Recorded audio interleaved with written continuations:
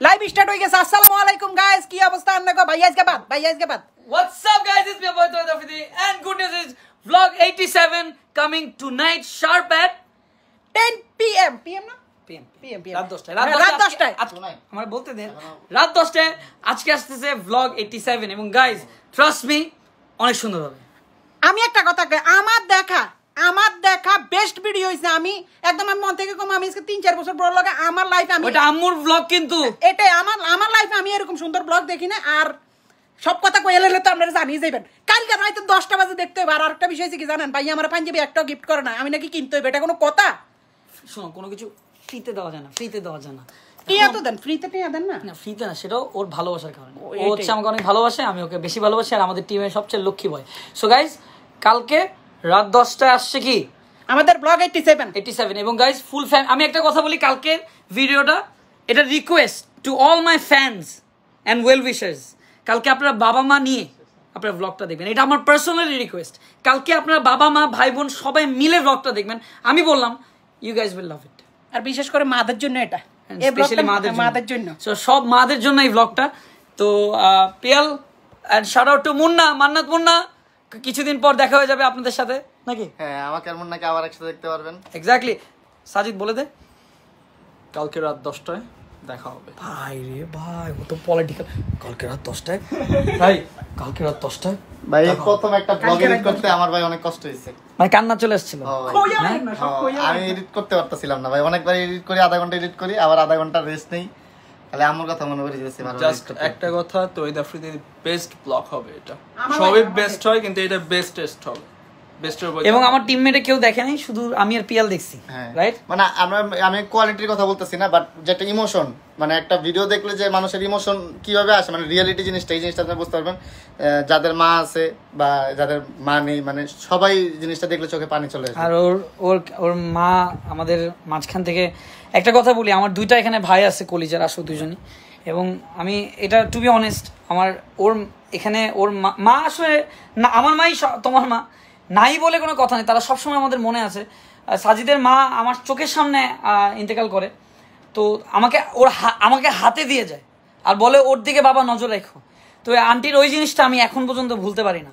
আর আমি ওকে একটা কথা বলছি, তুই সারা জীবন অলওয়েজ তুই আমার ভাই, আমার যা অধিকার, আমার যা, সব তার এখানে কোনো ই নাই। আর আমি ওর অনেক বেশি আদর করি, ওর অনেক বেশি, ওর জীবনে অনেক বড় হবে।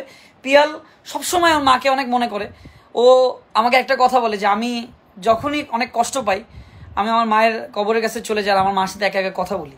তো এটাই বলি মা হারানো মানুষ বুঝে যে পৃথিবীতে কষ্ট বাবা মা হারানো মানুষ বুঝে। আমরা এখন ভাবি কি ডিপ্রেশন গার্লফ্রেন্ড চলে গেছে ডিপ্রেশন লস হয়ে গেছে ডিপ্রেশন আমরা কুড়ি টাকা লস খেয়ে গেছি আমার শেষ হয়ে গেছি। আমাদের এই প্রজেক্ট হইল না ভিডিও হিট খেলে না আমরা ফ্লপ হয়ে গেছি। কিন্তু না যাদের বাবা মা নেই তারা তারা আসলে পৃথিবীটাকে দেখছে তারা পৃথিবীটাকে জানছে। তো অবশ্যই। পারলে বাবা এবং মায়ের পায়ে চুমা দাও। বারবার দাও। সুযোগ পালে তাদের পায়ের পানি খাও। এর চেয়ে বড় দোয়া আর পৃথিবীতে কিছু নাই। মায়ের পায়ের নিচে আমাদের যেখানে মায়ের পায়ের নিচে আমাদের ভেস্ত সেখানে তো আর কোনো কথা নাই। ঠিক আছে? আমি আমি আমার বউ নিয়ে হজ করতে গেলাম বাপ মারে রেখে। এটা এটা না। বাবা মাকে আগে পাঠাও। তারপর। সরি আমি ইসলামিক এরকম কিছু আমি বুঝাতে চাইনি বাট আমি মনে করি বাবা মাকে আগে পাঠাও।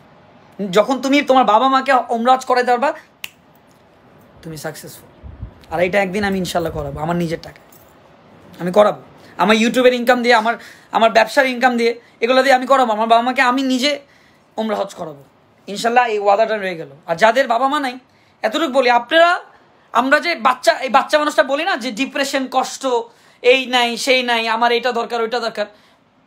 আমি একদিন আমার বাবাকে বলি যে, বাবা তোমার তো অনেক কিছু তুমি অ্যাফোর্ড করতে পারো। তোমার কি দরকার? বলে, আমার মা দরকার। আমার বাবা দরকার। দিবা তুমি? আমি চুপ হয়ে গেছিলাম। বলে যে, বাবা, আমি টাকা, পয়সা, গাড়ি, বাড়ি দিয়ে করব কি? এগুলোর মধ্যে আমার আমি বাবারে বলি, বাবা রাইডিং রেঞ্জ রোভার খুব তোমার তো ভালোই লাগার কথা। তুমি, তোমার লাইফে কত জোস তুমি রেঞ্জ রোভার গাড়ি। বলে, এটাতে শান্তি নাই। কেন? আমি আমার মাকে উঠাই নাই।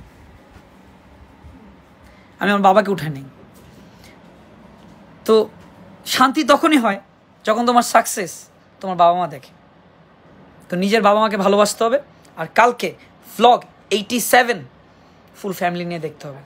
দোয়া রাখবেন আপনার সন্তানের জন্য, দোয়া রাখবেন আপনার ভাইয়ের জন্য, যাতে আমি সবসময় আপনাদেরকে হাসি মুখে সারা বাংলাদেশকে রিপ্রেজেন্ট করে যেতে পারি। মানুষ কে কে, যে যেটা বলুক, আমি এটা পারি না, সেটা পারি না। আমি কি পারি সেটা আমার ফ্যান্স আর ওয়েল উইশাররা জানে। এত বছর আমাকে মানুষ দেখতেছে ইউজ টু হয়ে গেছে। দেখতে দেখতে আমি একটা হ্যাবিট হয়ে গেছি মানুষের। ঠিক আছে? সো মানুষ অমুক কম্পেয়ার করবে, অমুক অমুক আফ্রিদির চেয়ে বেস্ট করে, অমুক সবাই আমার চেয়ে বেস্ট করে। আমি সবচেয়ে খারাপ করি। আর আমার খারাপটাই যাতে ভালো হয়ে দাঁড়ায়। দুইটা কাজ করে যদি মানুষকে উপকার করতে পারি, একটু বিনোদন দিয়ে যদি একটা জেলাকে রিপ্রেজেন্ট করতে পারি, দেখাতে পারি সুন্দর করে, তাহলে আমার ওই দুষ্টুমিটাই ভালো লাগে। অনেক হেটাররা বলে হ্যাঁ ও তো খ্যাত। আমি আই লাভ টু বি খ্যাত। ভালো লাগে আমার খ্যাত হতে। খুব মজা পাই আমি। আমার এখনের জেনারেশন কুলনেসটা আমার মধ্যে নাই আমার ভালো লাগে না এটা। ঠিক আছে অমুক এই সেই পাড়ে ওইটা সেটা এটা আমার মধ্যে এটা ভালো লাগে না। আমি কুল না ভাই আমি অনেক খ্যাত।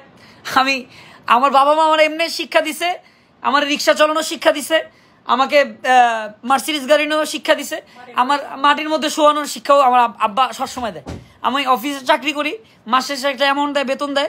আমি একটা ফ্লোর আমার নিজের অফিসে আমি একটা ফ্লোর নিছি, আমার শো অফের ব্র্যান্ডের জন্য। ওইখানেও আমার ভাড়া দিয়ে চলতে হয়, আমার বাবাকে দিতে হয়। সো এটা, আমার বাবা আমাকে অলওয়েজ লার্নিং প্রসেস শিখাচ্ছে যে পৃথিবী অনেক কঠিন। অনেকগুলো মানুষ কাজ করতেছে, সবার স্যালারি দিচ্ছি, দিতে পারতেছি কীভাবে? কারণ আপনারা যে এই- যে ভালোবাসাটা দিচ্ছেন, চেষ্টা, এটাই। আর তহিদ আফ্রিদিকে একটা কি বলব ক্লাসের পিছনের বেঞ্চে বসা সেই জিরো পাওয়া ছেলেটাকে আজকে আপনারা হিরো বানায় দিচ্ছেন। শুধুমাত্র আপনাদের দোয়া। ভালো, ভালোবাসা তো একটা দোয়াই, তাই না? ভালোবাসা একটা দোয়া।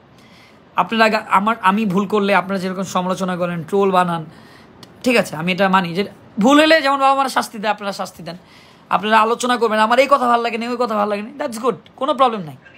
কারণ আমি মনে করি, আপনারা আমার আমার বাবা একদিন বলছেন আমাকে যে তোমার গাইড গার্ডিয়ান হচ্ছে আমাদের পর তোমার অডিয়েন্স না, কারণ তারা জানে যে তোমার কোন জিনিসটা করলে ভালো হয়। এবং আপনারা দেখেন, আমার আগের ভ্লগ আর এখনের মধ্যে পার্থক্যগুলো দেখেন। ডে বাই ডে কিন্তু আমার মধ্যে যে ম্যাচুরিটি বা আমার চেঞ্জিংটা আসতেছে, শুধুমাত্র আপনাদের কারণে। আমি চেক করি কোনটা আমার প্রবলেম কোনটা আমার না। আর আমার সব ফ্যানদের উদ্দেশ্যে একটা কথা বলি। আমার ফ্যান্স হয়তো বা গুলশান বনানিতে নাই, কিন্তু এতটুকু বলতে পারব, সারা বাংলাদেশে তহিদ আফ্রিদির ভালোবাসার মানুষরা ফ্যান্স বলতে কিন্তু ভালোবাসার মানুষ। যারা তিন, চার বছর যাবত আমার ভিডিও দেখে যাচ্ছেন স্পেশালি কলকাতার মানুষরাও। কলকাতা থেকে যে পরিমাণ ভালোবাসা আসতেছে, কলকাতার ইউটিউবাররা যেরকম আমি বিভিন্ন নিউজ দেখি, এটা দেখি, তো এই এই যে সব ভালোবাসারা আপনারা আমাকে দিচ্ছেন, এটা কিন্তু একদিন, দুই দিনের অর্জন না। আমার পাঁচ, ছয় বছরের আজকে অর্জন। কত ট্রোল কত গালাগালি শুনে আজকে এই পর্যন্ত আমি এসেছি। শুধুমাত্র ভালোবাসা, আপনাদের দোয়া, আপনাদের বাবা মার দোয়া। অন্তত বলতে পারবেন যে আফ্রিদির ভিডিও আমি আমার মার সাথে দেখছি। বাবার সাথে দেখছি। ভালো লাগে কোনো জায়গায় গেলে যখন আমাকে বলে যে, আমার ছেলে তোমার ফ্যান একটা ছবি তুলে যায়, খুশি হয়ে যাবে। এটাই। তো আপনারা ব্লগ এইটটি সেভেন দেখতে ভুলবেন না, আর বাবা মাকে ভালোবাসবেন। কালকে ব্লগটা অনেক মজা হবে অনেক ফানি অনেক মজা। ভাই? কি কই, ভাই আই এম সো এক্সাইটেড আমি নিজে এখনও দেখি নাই, কিন্তু দেখার জন্য আমিও এক্সাইটেড ঘুরতে আসি ভাইয়ের পিছিয়ে পিছিয়ে না, এটা কালকে দেখতে হবে। কালকে রাত দশটায়। মনে থাকবে না? কালকে রাত দশটায় মনে করেন সবাই মিলে বসি, একদম লেট্টা বাড়ি বসি দেখবেন। মানে মানে আমরা কেন বুঝাই? মেয়েটা ওই নোয়াখালীরা বুঝব। তো এই আর কি সবাই ভালো থাকবেন? আমরা ভালো ভালো, একসার ভালো, জারগা লোকের জম। জম। বললাম মুন্সি আলিম জালিম আঙ্গ কম? আঙ্গ কোনো কিছুর কম না। এই তো নোয়া বলে কথা। সো গাইজ দেখা হচ্ছে ঠিক কালকে মানে আজকে। আজকে রাত দশটার দিকে। সবাই দেখবেন ফুল ফ্যামিলি শো বাবাই লাভ ইউ অল